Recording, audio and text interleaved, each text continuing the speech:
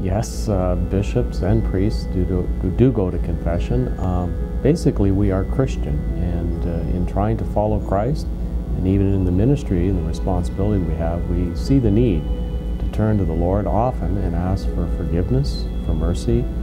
And in the sacrament of penance, uh, it's something that sort of renews us, not only in our Christian journey, but also strengthens us, I think, in our, our uh, priestly and our, our ministry as a bishop.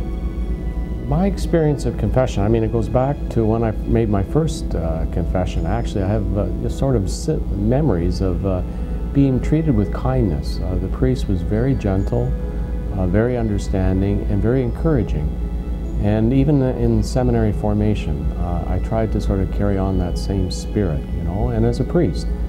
It's always a sort of a, a sense of joy in my heart to receive and to encourage those to to experience the Lord's forgiveness. So, yeah, I've, I've always sort of been edified uh, and amazed at when people are moved by God's grace to seek this sacrament.